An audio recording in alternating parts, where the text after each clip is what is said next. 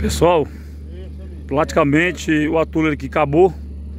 A galera aqui tá meio esperando meio só secar mais um pouco, né, galera? Pra sair, subir os outros, né? Era pra cá não, mano. É mais, mais. Então agora, desci agora aí.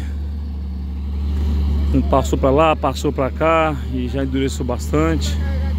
Realmente o menino aí da carreta aí ajudou muito, foi o que né, empiou bastante aqui nesse procedimento aqui. Aí, agora tá descendo para ir embora.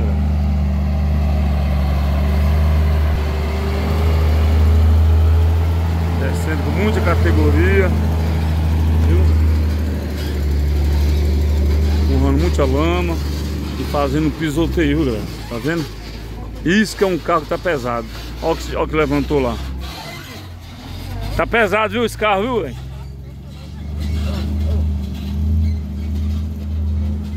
Aí tá pesado.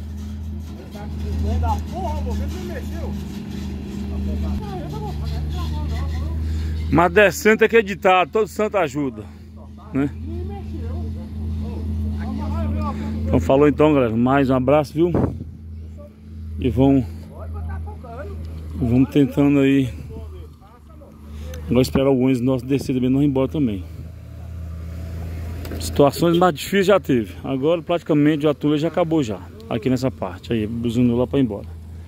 Um abraço. Fica lembrando, estamos aqui na MG 402, aonde está sendo feita a pavimentação asfáltica de sentido Pintópolis a Urucuia e Urucuia a Pintópolis.